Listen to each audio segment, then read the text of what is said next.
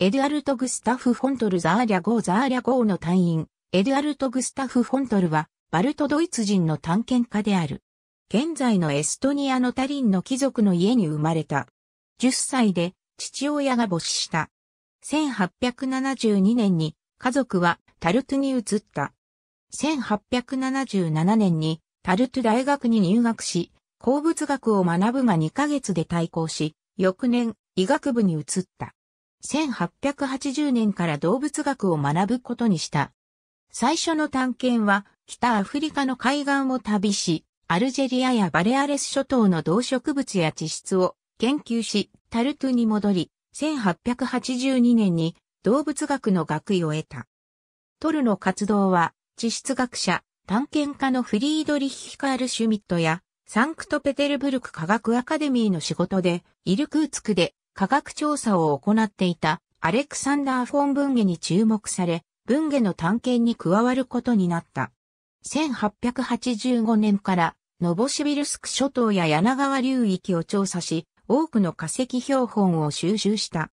この探検の間に、1810年頃、探検家のヤコフ・サンニコフとマトベイ・ゲデンシュトロムが目撃したというサンニコフ島の話に強い興味を持つことになった。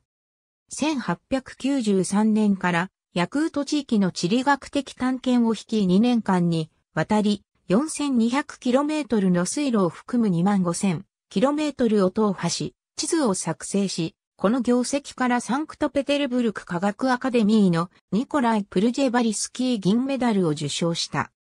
1900年からトルは、サンクトペテルブルク科学アカデミーのザーリャ号による北極海探検を率いた。目的の一つは、サンニコフ島を探索することであった。タイミル半島やコテリヌイ島近海で越冬すると、共に水路学、地理学、地質学的な調査を行った。より北方を目指したが、船は厳しい氷海に阻まれて進めなかったが、1901年9月からベネット島での調査を行った。その後ベリコフスキー島を調査した後、1902年6月にトルラ3人の隊員はソリでベネット島に渡った。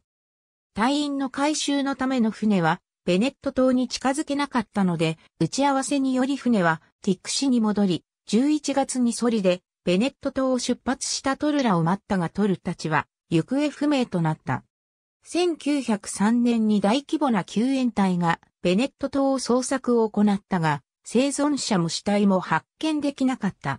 没後、ノバヤゼムリャの山の名前などにトルの業績を記念してトルの名前が付けられた。ありがとうございます。